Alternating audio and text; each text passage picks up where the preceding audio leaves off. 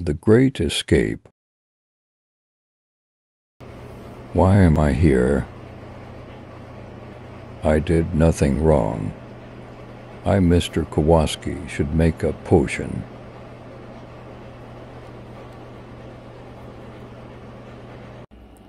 Okay.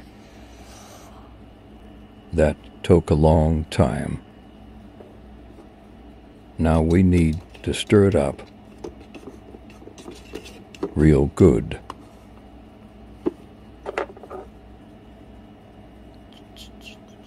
Now we need to sprinkle some glitter.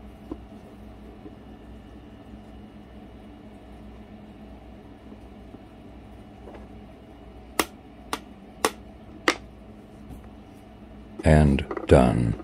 Time to drink. Yummy.